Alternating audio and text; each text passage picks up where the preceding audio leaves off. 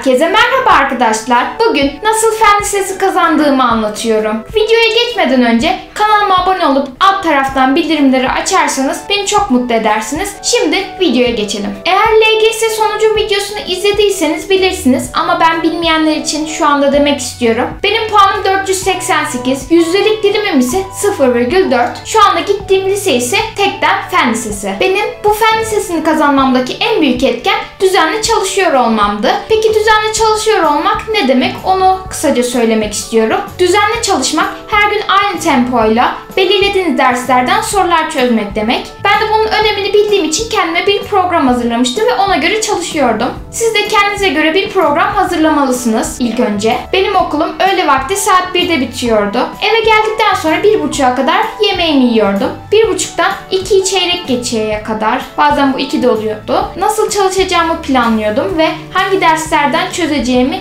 tek tek bir böyle benim bir not defterim vardı ona yazıyordum. Sonra çözeceğim kitapları masama koyup masamı da topluyordum ve masa üzerinde dikkatimi dağıtacak olan şeyleri başka yere koyuyordum. Çalışma odamda genellikle tablet, telefon yoktu. Her şeyimi ayarladıktan sonra ders çalışmaya başlıyordum. Ben masanın başında en fazla 90 dakika durabiliyordum. Bu süre sizde değişebilir ama bence bu süre minimum 40 dakika olmalı. Ben en fazla 90 dakika oturuyordum. 90 dakika çalışıp 20 dakika ara verip tekrar 90 dakika çalışıyordum evde. Molam ise bazen 20, bazen 15, bazen ise 10 dakika oluyordu. Eğer matematik çözdüysem molalarım genellikle 20 dakika oluyordu. Çünkü matematik kafamın içini iyice dolduruyordu. Bu sebeple molaya ihtiyacım çok fazlaydı. Evde iki tane böyle 90 dakikalık etüt yapıyordum kendime. Ardından benim saat akşam 6'da başlayan bir kursum vardı okulumun açtı. O kursa gidiyordum. Çalışmam böyleydi. Şimdi size kaç soru çözdüğümü söylemek istiyorum. Evde yaklaşık 3-3,5 saatlik bir çalışmam vardı. Bu çalışma içinde kesinlikle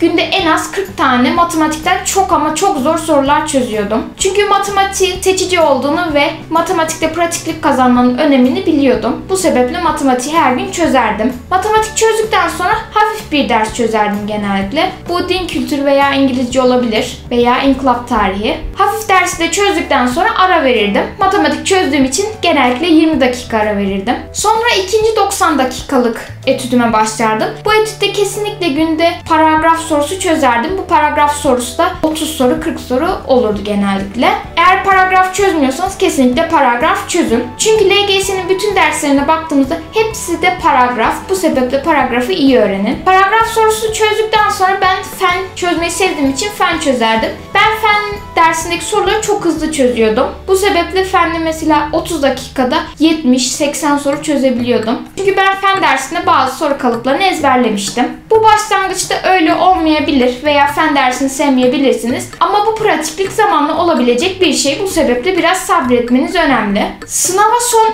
2-3 ay kala ben her gün deneme çözmeye başladım. Artık soru bankalarını bir yavaş yavaş bitirdim ve her gün genel deneme, branş denemelerine yöneldim ve onları çözdüm. Bu sebeple LGS'ye 2-3 ay kala bütün konularınızı öğrenin ve deneme çözmeye başlayın. Ama süreli çözün. Mesela 20 soruyu 30 dakikada, 40 dakikada çözmeye çalışın. Biz arkadaşlarımızla yarış yaparak çözmeye çalışıyorduk. Kim önce bitirecek diye. Ben evde sorularımı çözdükten sonra akşam saat 6'da başlayan bir kursumuz vardı. Oraya gidiyordum. Bu kursta 70 dakikalık 2 dersimiz vardı. Arada herhalde 20 dakika falandı. Bu 70 dakikalık 2 derste ben genellikle hafif ders dersler çözüyordum. İngilizce, inkılap, din kültürü. Bazen de matematik oluyordu bu. Bu kursta yaklaşık olarak bir 200 240 arası soru çözüyordum. Yani anlayacağınız ben 400 soru çözüyordum günde. Ama bazen çalışma isteğim hiç olmuyordu. Bu sebeple 200 soru çözdüğüm de oluyordu. Ama bazen çok fazla çalışasım oluyordu ve arkadaşlarımızla böyle birbirimizi geçme yarışı yaptığımızda böyle çok fazla sorular çözdüğüm olmuştu. Benim rekorum şu ana kadar 840 soru. Bu sene arkadaşlarımla beraber çözdüğümüz bir kitapta kırmıştım bu rekoru. Benim fen lisesi kazanmamdaki nedenlerden birisi ise arkadaş grubumun çok ama çok iyi olmasıydı. Bizim arkadaş grubumuz 4 kişiydi ve hepimizin de hedefleri yükseklerdeydi. Hatta birisi ise LGS birincisi oldu. Biz arkadaşlarımız ile birlikte bir kitap seçerdik ve o kitabı satın alırdık. Herkes aynı saatte başlardı o kitaba ve kim önce bitirecek yarışı yapardık. Bazı günler gece 2'ye 3'e kadar çözdüğümüz oluyordu. Hatta LGS'ye son Bir hafta kala biz hiç eve gelmedik okulumuzdan ve okulda ders çalıştık. Kendimize bir deneme seti seçmiştik. O da Tonguç'un hedefin derece denemesiydi. 3 tane deneme vardı onun içinde. O deneme setlerini aldık ve okulda 6 saat içinde çözdük. Çözemediğimiz soruları birbirlerimize anlattık. Bu bizi çok iyi etkiledi. Siz de bence bir arkadaş grubu oluşturun ama çok fazla hırslanmayın çünkü bu hırs bir süre sonra düşmanlığa dönebiliyor. Benim arkadaş grubumda böyle bir şey yaşanmadı ama başka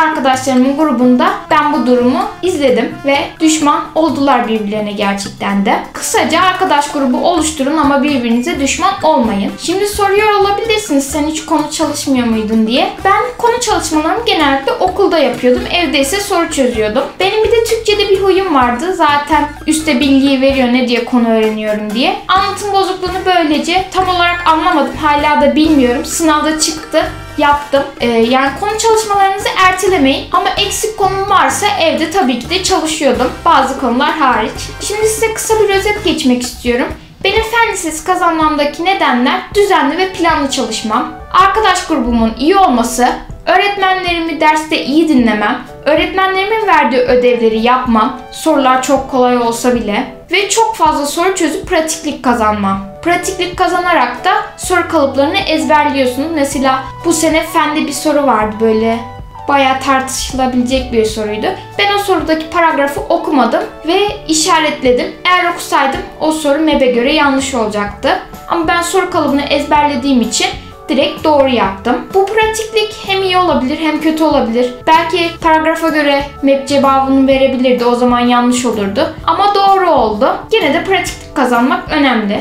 Eğer siz de fen lisesi kazanmak istiyorsanız bir yıl boyunca bir tempo tutturmalısınız ve o tempoyu giderek arttırmalısınız. Çünkü emin olun belki bazıları öyle değil diyebilir ama kesinlikle buna emin olun sınava son 1-2 ay kala bazıları sıkılıyor ve temposunu düşürüyor. Siz bu zamanlarda daha çok bastırıp farkınızı ortaya koymalısınız. Ve sınavın kolay olmasını hiçbir zaman istemeyin. Çünkü sınav kolay olunca herkes yapar ve okulların puanları giderek artar. Eğer zor olursa senin de mesela fen bilimlerine ilgin var. Sen fen bilimlerinde farkını ortaya koyabilirsin. Bu sebeple sınavın zor olması daha iyi. Unutmayın bu zor bir süreç ve daha çok çalışan kazanır. Umarım bu seneki LGS'de herkes istediği liseye yerleşir. Bir videomuzun daha sonuna geldik.